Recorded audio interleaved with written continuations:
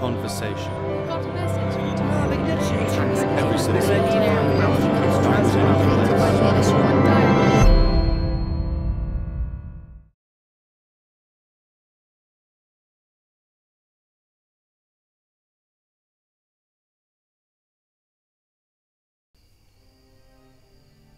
As far as I can remember, probably from the age of six or seven, I was aware that Ramadan is marked by the appearance of the new crescent moon. To be aware of the phases of the moon and its journey around the earth is something quite critical to Islamic practice.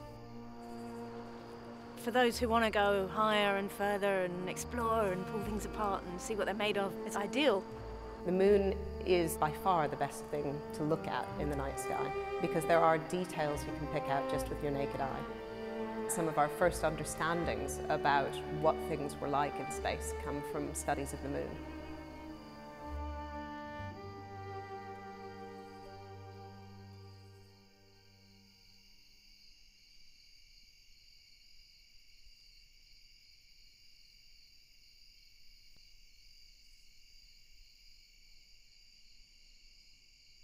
New moon is when the moon is actually very close to the sun and it's reflecting all the light of the sun back into outer space away from the earth. So we don't actually see the moon at all. As it moves just slightly further around, the moon eventually suddenly appears. I mean, it, it was there all along, but it was lost in the glare of the sun. And once the glare of the sun has died down enough, suddenly it shimmers into view, which, which is a lovely sight. In the traditional Muslim countries, you still get thousands of people who will go to the hilltops for the new moon, especially uh, at the beginning and end of Ramadan. The night sky did inspire people to imagine where we were, and this is a very basic human question. Where are we? How do we get here? Um, where do we come from? These things are things that are addressed by looking up into the night sky. There is a sense of vastness. Science is possibly the most powerful tool methodology that humanity has come up with yet. That's taken us on a very long journey. I mean, it's brought us to huge amounts of amazingly powerful knowing. When we see the moon, it is a symbol of light in darkness. The moon is often compared in Islamic uh, literature to teachers of divine knowledge, to teachers of the spiritual mysteries who have, in a sense, reflected that light uh, from the sun of, of, the Prophet Muhammad and of Jesus Christ and Moses and Abraham, etc., before them. Very early on, uh, it, was, it was understood that the moon could be a sphere which was lit up on one side. And through a variety of measurements, uh, distance to the moon, the size of the moon, the relative size between the moon and the earth were worked out. I'm still amazed by the amount of information we can glean just by looking at light coming from distant objects and knowing how physics and chemistry works here on Earth. It's important to study the night sky and the moon, for me both as a believer and as a scientist. For a believer, it's God's gift of reason and the human intellect which has allowed us to make such astonishing discoveries.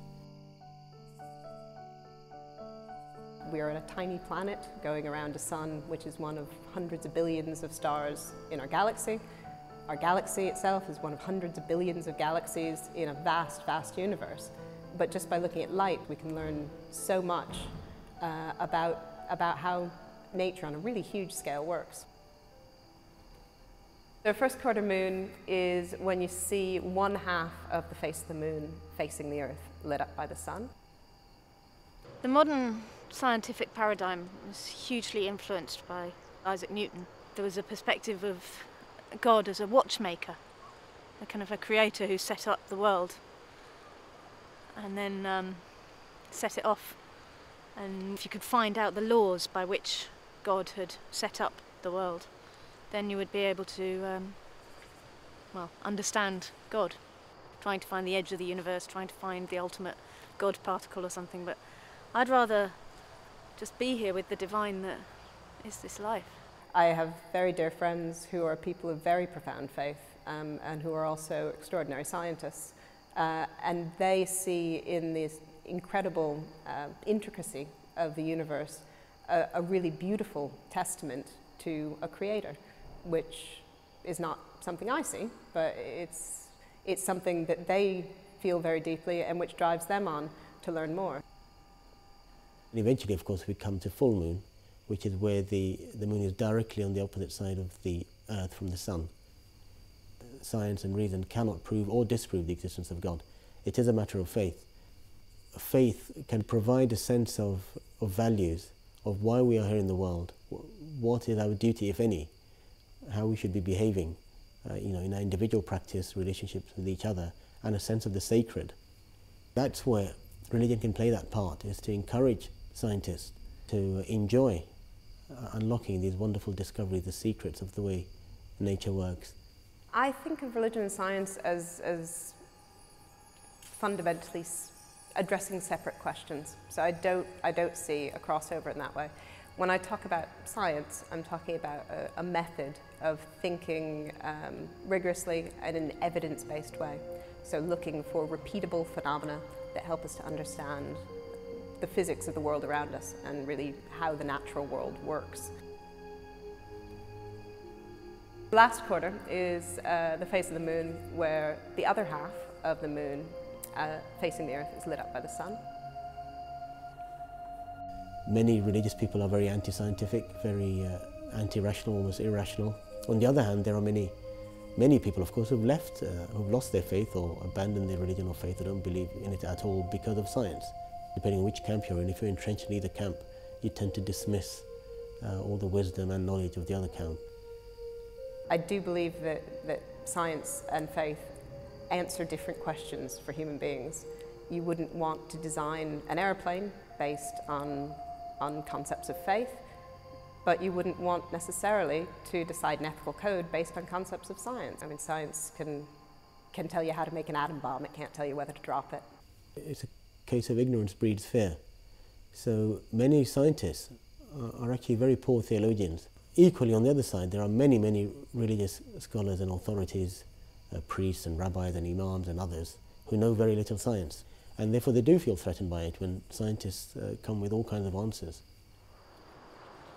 To me, that conflict between religions and science, it's kind of a clash of the patriarchies. It's like one load of big men trying to psych out another load of big men saying, no, no, listen to our, we know all about the world and you don't. And actually, they've both got some things right and they've both got some things missing.